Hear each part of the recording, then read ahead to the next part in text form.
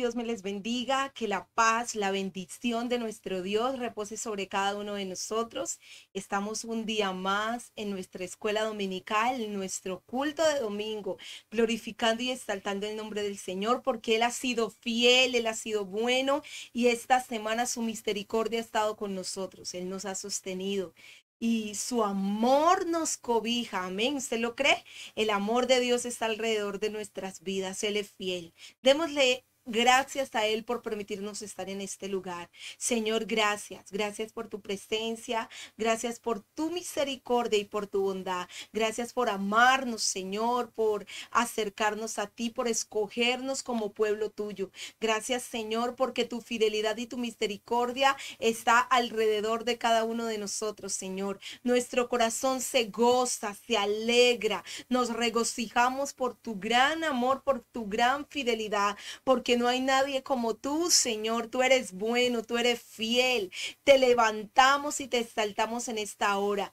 Por eso, Señor, te invitamos para que nos hables en este día, para que tu Espíritu Santo toque nuestros corazones, para que haya libertad en nuestras casas, Señor, para que el poder de tu Espíritu Santo, Señor, nos visite. Tú eres fiel y para siempre es tu misericordia. Bendice, Señor, a cada miembro de nuestra familia, a cada miembro de nuestra congregación.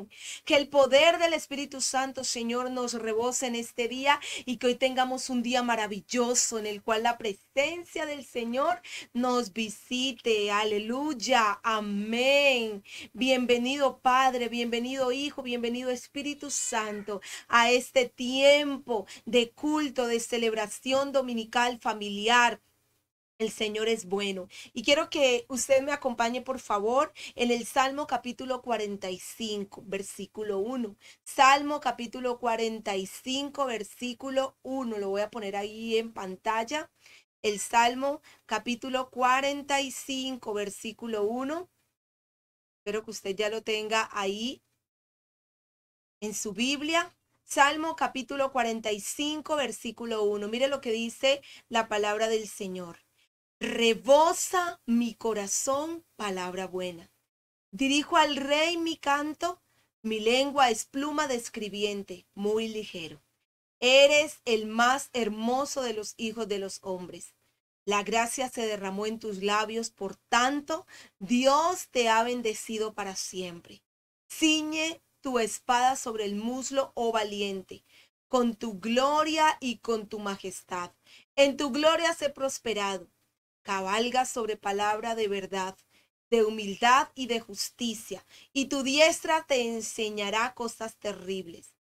Tus saetas agudas con que caerán pueblos debajo de ti penetrarán en el corazón de los enemigos del rey. Tu trono, oh Dios, es trono y para siempre. Cetro de justicia es el cetro de tu reino. Has amado la justicia y aborrecido la maldad. Por tanto te ungió Dios, el Dios tuyo, con óleo de alegría más que a tus compañeros. Mirra, aloe y, casia exhalan todos tus vestidos. Desde palacio de, de marfil te recrean. Hijas de reyes están entre tus ilustres. Está la reina a tu diestra con oro de Ofir. Oye, hija, y mira, y inclina tu oído, olvida tu pueblo y la casa de tu padre, y deseará el rey tu hermosura, e inclínate a él, porque él es tu Señor. Y las hijas de Tiro vendrán con presentes, implorarán tu favor, los ricos del pueblo. Toda gloriosa es la hija del rey en su morada. De brocado de oro es su vestido con vestidos bordados será llevada al rey. Vírgenes irán en pos de ella. Compañeras suyas serán traídas a ti. Y el versículo 15 dice, serán traídas con alegría y gozo, entrarán en el palacio de el rey. Amén. La palabra del Señor es hermosa. Y el salmista decía, rebosa mi corazón, palabra buena.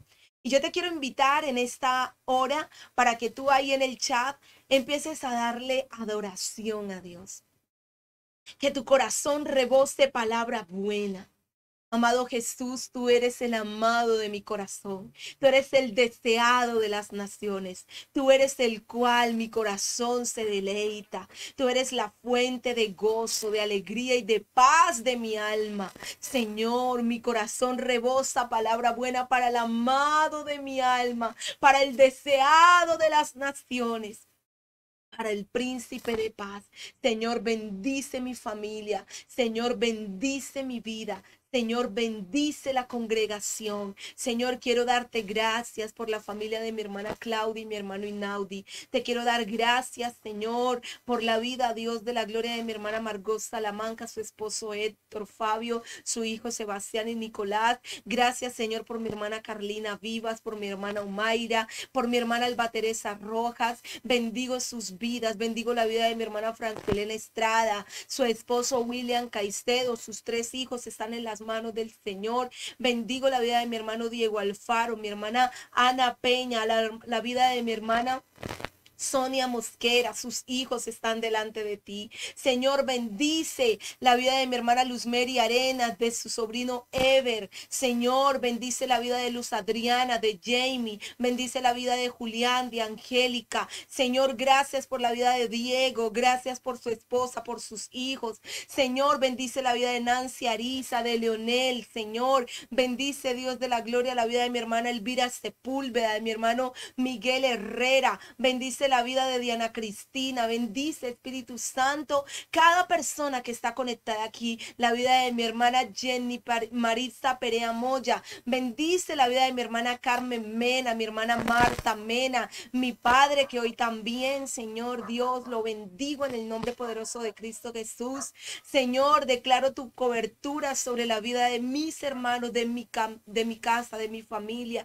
Bendigo cada persona Señor, que con un corazón dispuesto está delante de ti. Mi hermana Yolima, mi hermana Marcela Pascuaza, sus hijas. Bendigo, Señor, tu iglesia y declaro, Dios, que una cobertura del cielo desciende sobre cada uno de nosotros y que el poder del Espíritu Santo está en cada casa que estoy conectado y los que se van a conectar, los que van a escuchar esta transmisión, también los bendecimos en el nombre poderoso de Cristo Jesús y declaro que la presencia del Dios Altísimo está sobre cada uno de nosotros. Amado, amados hermanos, les invito para que adoremos juntos el nombre del Señor, para que le reconozcamos a Él como Señor, como Dios, como príncipe. Él es el amado de nuestra alma y queremos bendecirle a través de la alabanza y la adoración. Disponga su corazón para adorar el nombre del Señor. Amén. Espíritu Santo de Dios, hay poder en tu santo nombre. Hay poder, Dios de la gloria, en adorarte, en bendecirte. Y yo te quiero invitar, Señor, que te lleves toda carga, toda necesidad. Ahí donde usted está, diga el Espíritu Santo, ven y toca mi vida. Hay poder en el nombre de Cristo, nombre sobre todo nombre, nombre que venció las tinieblas. Tú te levantaste con poder y podemos hoy declararlo nombre poderoso de Cristo Jesús. Señor, tú eres bien. Hay poder en el nombre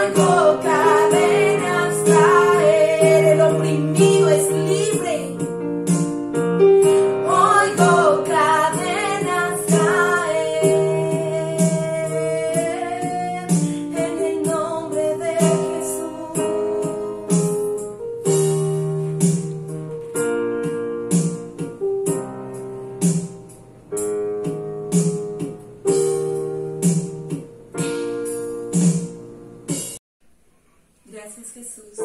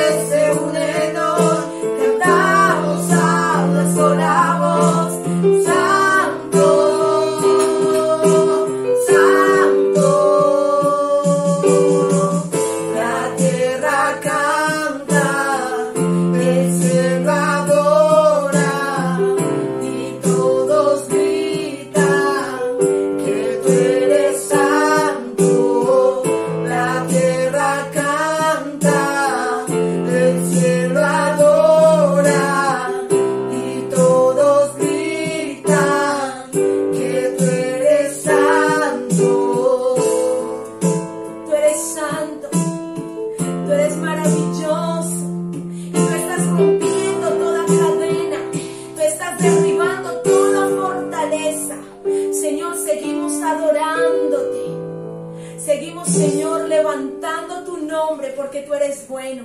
Seguimos, Señor, reconociéndote a ti. Amado Dios, ven, Señor. Ven y toma el control de nuestras vidas. Ven y toma el control de nuestras emociones. Ven y toma el control de nuestro ser. Señor, derriba toda cadena que se quiere levantar en el nombre de Jesús. Señor, en el nombre de Jesús. Hoy nos unimos, Señor, a los ángeles y declaramos, Dios, tu presencia. Declaramos, Señor, tu favor, tu misericordia. Gracias, Espíritu Santo.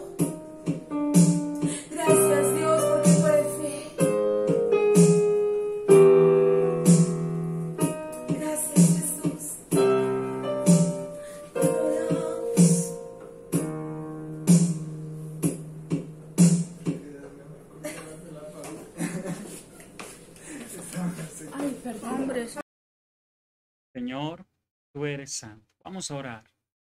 Padre, te damos gracias por este tiempo en tu presencia, Señor. Toda la tierra, Señor, un día te cantará, pero ahora te cantamos tus hijos, te adoramos, te bendecimos, te glorificamos, te damos honra a ti, Dios del cielo, Dios de nuestro corazón. Tú, Señor, tu soberanía está en todo lugar, tu amor está en nosotros, a pesar de cómo somos, tú nos amas, Señor. Gracias, gracias por este tiempo que nos regala. Y venimos con la fuerza de tu Espíritu Santo a llenarnos con tu presencia, Padre, en el nombre de Cristo Jesús. Amén y amén. Aleluya. Si algo mueve la mano de Dios para premiarnos es la oración.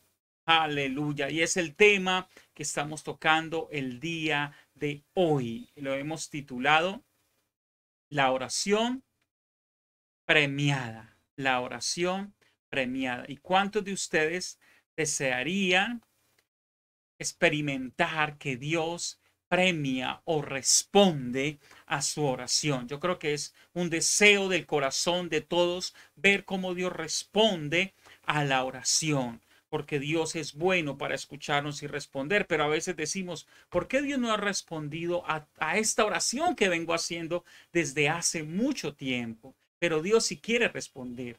Y yo le voy a invitar que vaya conmigo a el Evangelio de Mateo, capítulo 6 Evangelio de Mateo 6, 6 dice, Mas tú cuando ores, entra en tu aposento y cerrada la puerta, ora a tu Padre que está en lo secreto, y tu Padre que ve lo secreto, te recompensará en público.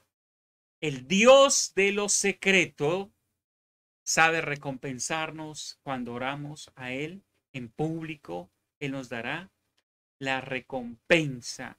Gloria a ese Dios en el cual hemos creído y hemos confiado. Y para hablar de este texto, vamos a predicar este texto y vamos a estar eh, eh, tratando de profundizar y viendo ejemplos bíblicos de cómo Dios está allí. Pero voy a usar cuatro P's para hablar de este texto. La primera P es la praxis o la práctica. Paz, praxis o práctica. Dice el texto al principio, mas tú cuando ores, mas tú cuando ores. Note que el texto no dice, mas tú cuando pienses o desees orar. El texto está confiando en que usted va a orar, en que la oración para usted no es una teoría, que la oración para usted no simplemente es una doctrina en la cabeza, que la oración para usted es una práctica. Eso es lo que espera Dios de usted. Y si usted conoce muchas cosas de la oración, pero no ora, su oración no sirve su conocimiento nos sirve.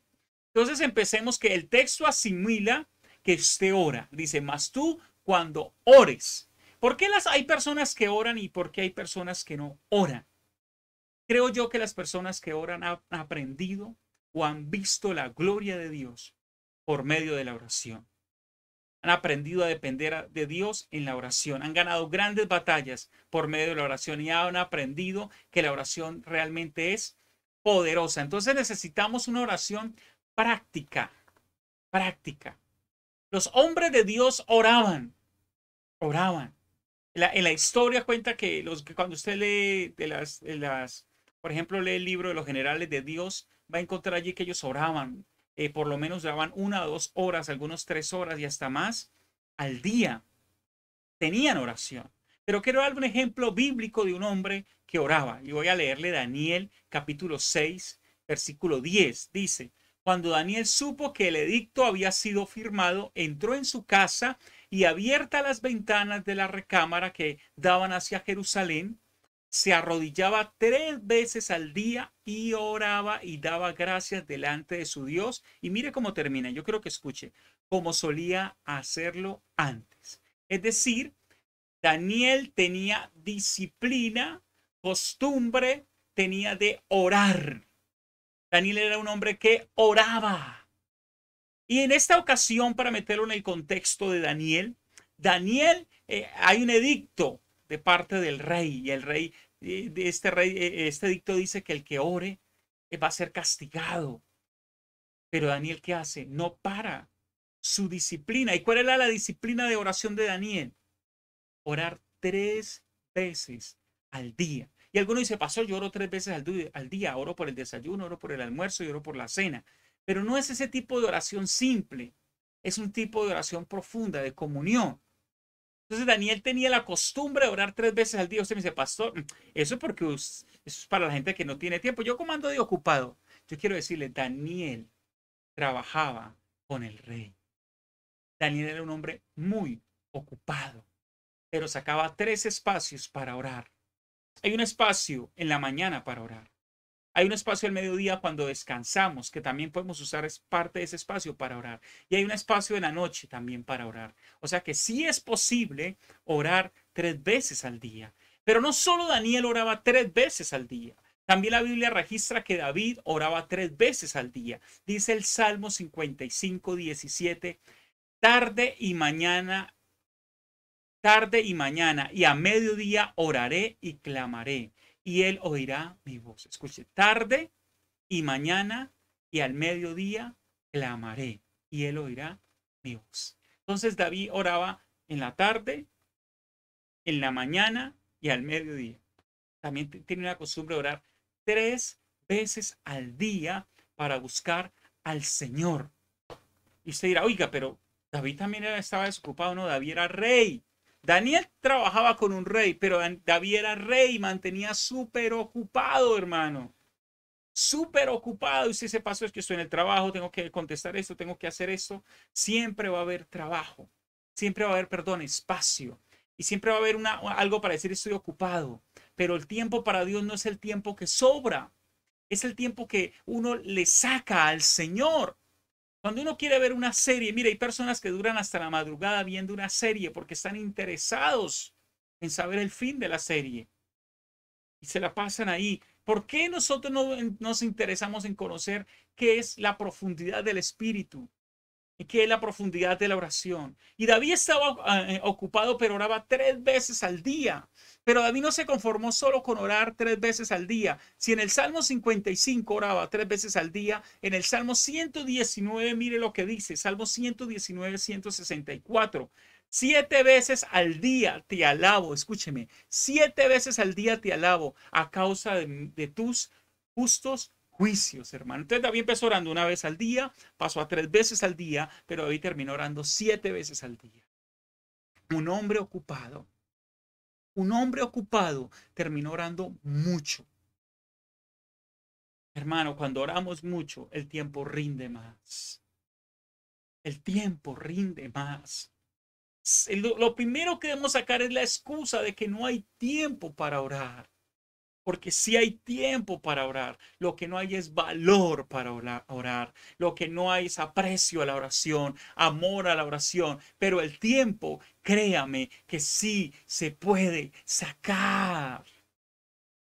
Hace un tiempo atrás, muchos años ya, unos 15 años o más, mi, mi, mi hermana Norela Arango estaba embarazada, iba a tener el bebé y empezó a hincharse, a, hincharse.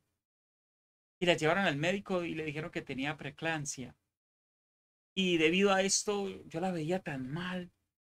Y yo empecé a orarle a Dios y ella se la llevaron de mi pueblo a, a Bucaramanga, a la ciudad, a atenderla. Y yo me metí en ayuno, pero no fue cualquier ayuno, era un ayuno de continua oración. Y pasé tiempos muy largos orando por ella en ese día de ayuno tiempos larguísimos, clamando a Dios, Señor, ayuda a mi hermana, Señor, ten misericordia, Señor, que ella tenga un parto normal, que el bebé nazca normal, Señor, Padre Celestial, que ninguno vaya a morir, que no vayan a quedar consecuencias secundarias, Señor, clamándole al Dios de poder.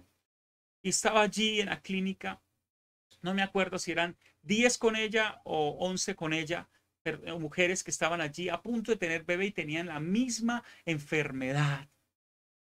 Y oh sorpresa cuando me dan el testimonio. Y me da, el testimonio es de todos los que habían allí en la clínica en ese momento con esa enfermedad. Solo su hermana tuvo el bebé en parto natural. Solo su hermana. Los demás tuvieron complicaciones. Y yo glorifico a Dios por ese momento.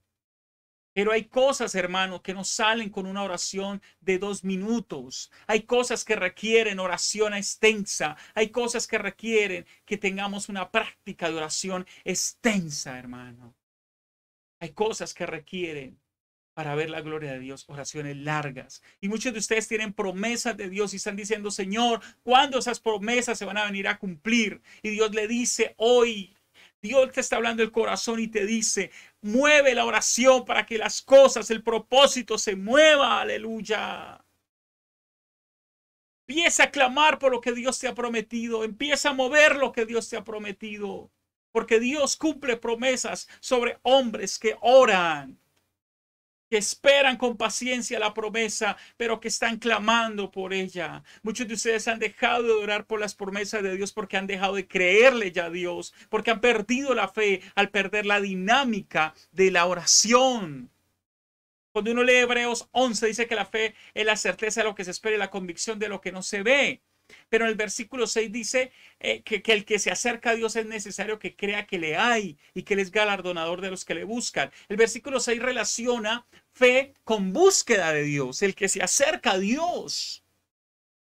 para subir a la convicción de fe, tiene que acercarse a Dios y la manera de acercarnos a Dios es buscándolo en oración, hermano. ¿Quieres ver la gloria de Dios? Rompe límites de oración. Estás viviendo un momento de crisis. Hay un faltante en tu vida. Hay un sobrante en tu vida. Métete a orar más allá de lo que oras. Aleluya. Empieza a practicar la oración. Pastor, no sé orar. Tranquilo. Cuando usted empieza a orar, va a aprender. No necesita 10 talleres para aprender a orar. Lo que necesita es tirarse de rodillas y buscar el rostro de Jehová y decirle, Señor, respóndeme en el nombre de Jesús. Abre los cielos para mí, Señor. Abra su corazón, abra su sinceridad a Dios y Dios le ayudará. Esa es la mejor oración. Más que palabras, más que técnicas, es buscar su presencia, su rostro. Entonces, la primera P de la oración que estamos viendo es praxis o práctica. Y la segunda P que quiero que veamos en este tiempo es profundidad. Profundidad. Necesitamos una práctica, pero también necesitamos una profundidad. Eh, hay muchas religiones que oran. Los musulmanes, por ejemplo, oran y oran varias veces al día, pero no tienen profundidad. ¿Qué significa encuentro con Dios? No tienen profundidad. Y dice el versículo que hemos tomado de base, Mateo 6:6, dice, más tú cuando oras, entra, escuche, entra a tu aposento y cerrada la puerta, ora a tu Padre que está en lo secreto. Entonces hay una oración especial. Se puede orar en todo tiempo, por en, en todo lugar, pero hay una oración especial que es una oración de secreto. Es una oración de profundidad donde la Biblia nos pide que nos metamos a orar, que cerremos la puerta, que nos profundicemos allí en la oración. Una mujer me decía, tuvo un problema muy difícil en su hogar, muy difícil. Y sus hijos empezaron a apartarse de Dios y empezaron a reclamarle. Y, su, su hija le decía, mamá, ¿usted por qué se encierra en ese cuarto a orar? No cierre la puerta. Y ella le decía, no, es que la Biblia dice que nos metamos al cuarto, que cerremos la puerta y que estemos en lo secreto. Y yo quiero estar en lo secreto. Y esa mujer a punta de oración pudo restaurar su hogar. Y la relación de su hija con Dios empezó a restaurarse.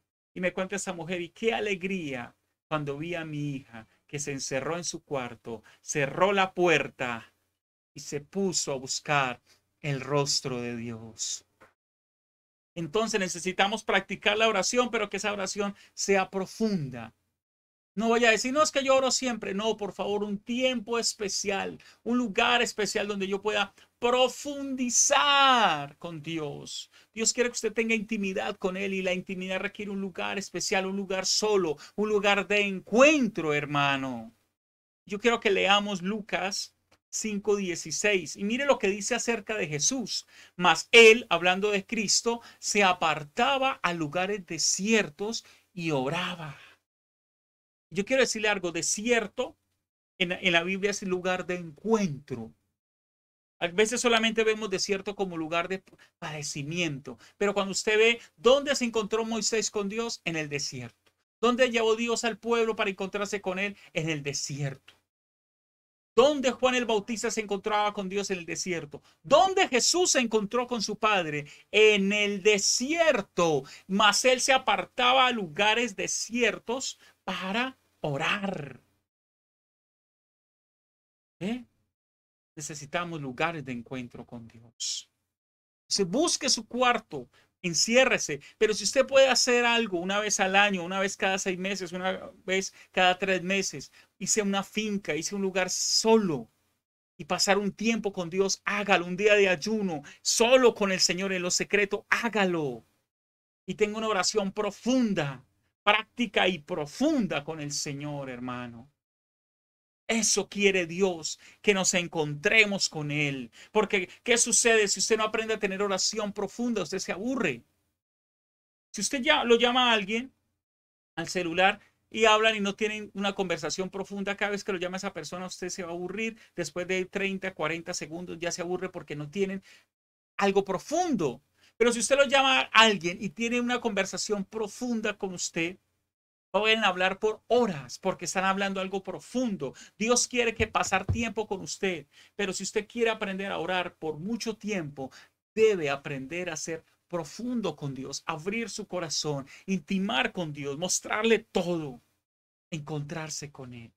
Entonces Dios quiere una oración práctica, pero Dios también quiere una oración profunda. Y la tercera P que quiero tocar es la oración paternal. Dios quiere una oración práctica, profunda y paternal. Práctica, profunda y paternal. Dice el texto, ora tu Padre que está en lo secreto y tu Padre. En un solo versículo menciona dos veces la palabra Padre dos veces. Y en ese mismo capítulo, que es Mateo 6, menciona la palabra Padre doce veces, hermano. En un solo versículo, dos veces, pero en un solo capítulo, doce veces. El Mateo tiene una intención clara que buscar a Dios, porque ahí habla del ayuno, habla de la oración, habla del dar. Y Mateo tiene claro que estas cosas son para encontrarse con el Padre. Así que la oración es un medio para encontrarnos con el Padre una práctica profunda y paternal. Práctica profunda y paternal. Encontrarnos con el Padre Celestial, hermano. Ese es el propósito de Dios. Relación, conocer, intimar, deleitarse. Deleitarse.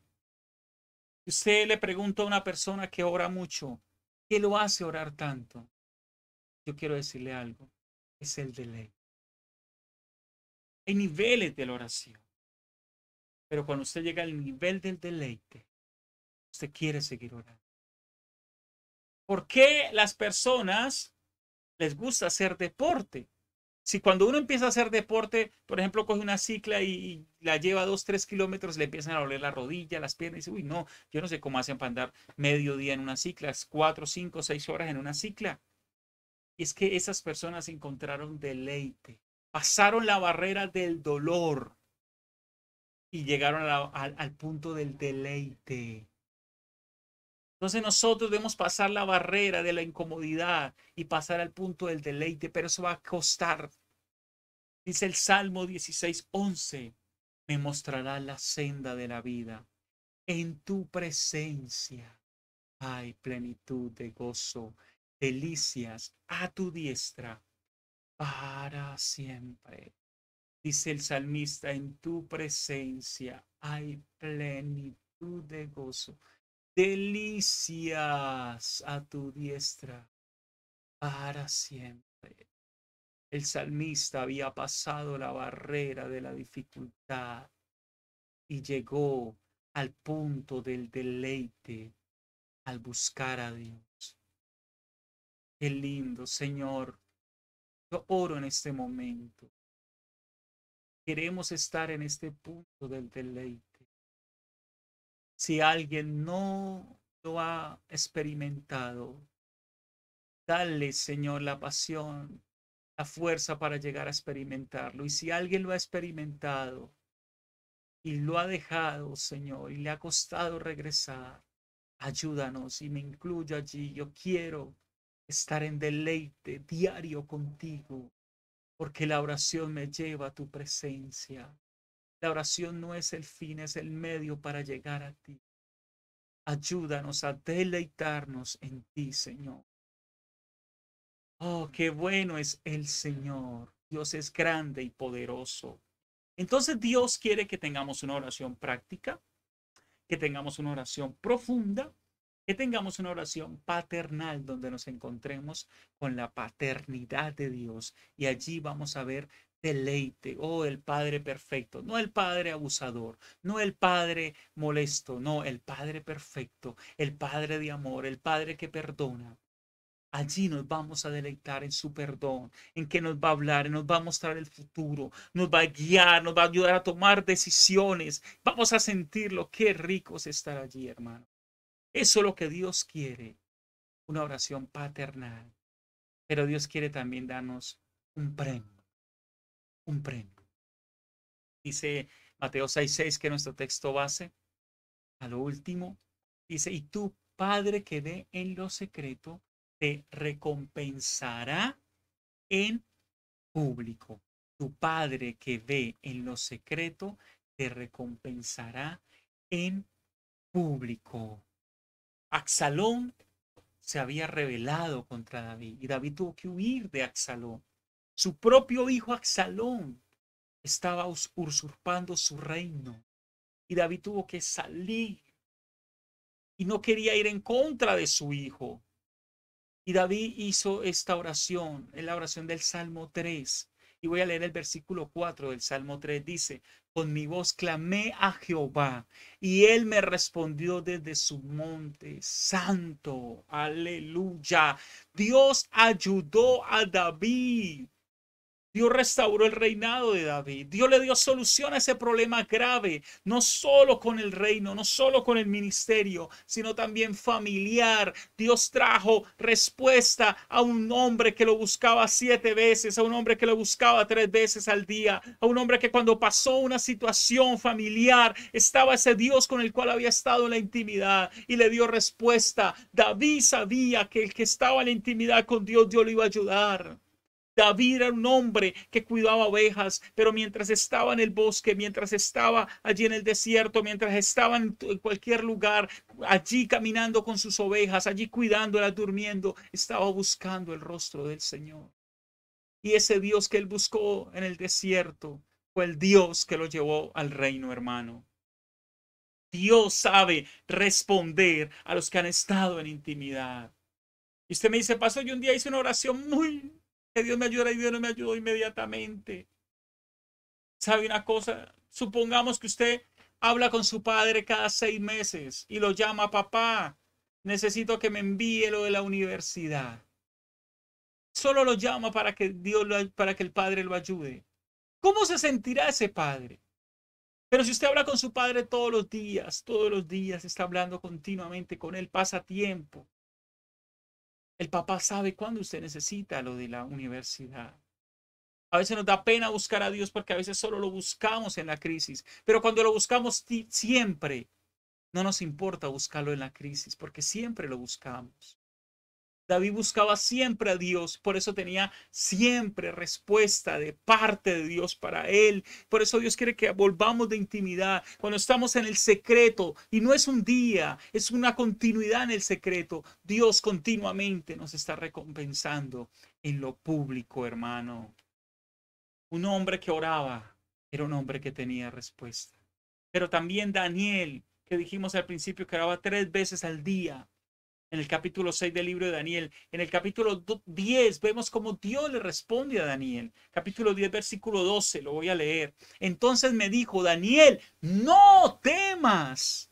Tú eres un hombre de oración, Daniel. No temas, porque desde el primer día que dispusiste tu corazón a entender y a humillarte en la presencia de tu Dios, eso significa oración. Fueron oídas tus palabras y a causa de tus palabras yo he venido.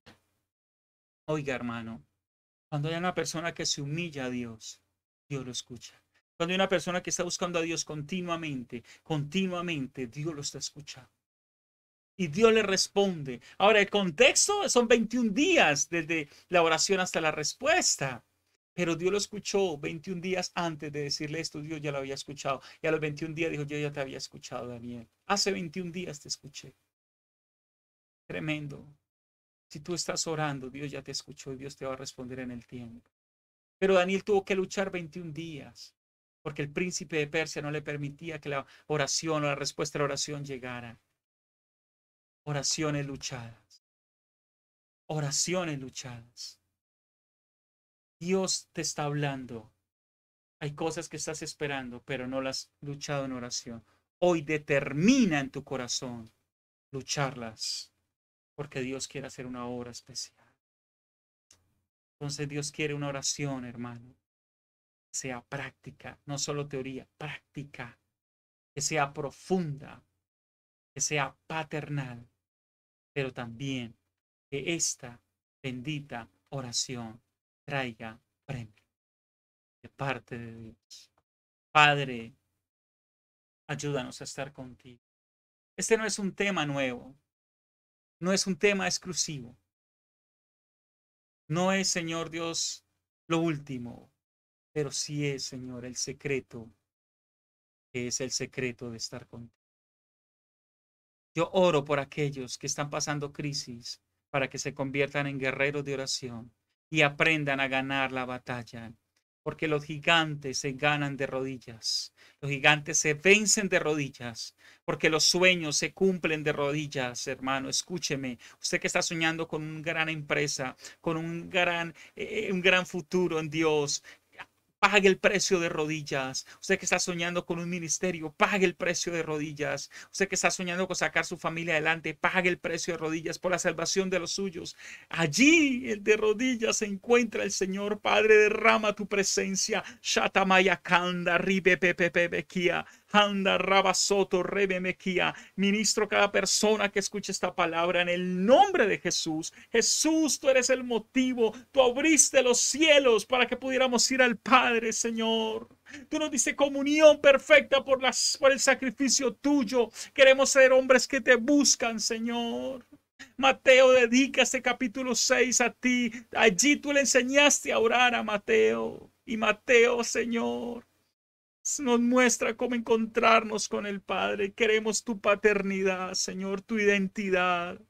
Despierta la oración, Señor, en nosotros, en el nombre de Jesús. Aleluya. Gloria al Señor. Gloria a Dios que está con nosotros. Él ha sido bueno, ha sido poderoso, hermanos. Quiero decirles que si Dios no lo permite, el primer domingo de noviembre, que es primero de noviembre, más no me equivoco, estaremos haciendo nuestro culto presencial. Será nuestro culto modelo. ¿Sí? Será un culto modelo eh, y estaremos probando cómo van las cosas y de allí tomaremos más decisiones. ¿Ok? Entonces prepárese porque va a ser un tiempo muy especial en el nombre de Cristo Jesús. Muy bien. Dios los bendiga. Gloria a Dios por esta palabra. Amén. Eh, debemos permanecer en oración, confiando lo que no ganamos, lo que no ganamos en, el, en lo natural, lo ganamos en lo espiritual. Amén. Entonces, gracias, Pastor Hilder, por esta palabra tan hermosa. Y estamos pendientes, estamos pendientes para eh, nuestro culto eh, presencial, que es el primer domingo del mes de noviembre. Que Dios les continúe bendiciendo. Nos vemos el martes en un tiempo de clamor con respuesta para que el Señor sea respondiendo a cada necesidad y petición de nuestro corazón. Les bendecimos, les amamos en el nombre poderoso de Cristo Jesús. Dios los bendiga. Chao.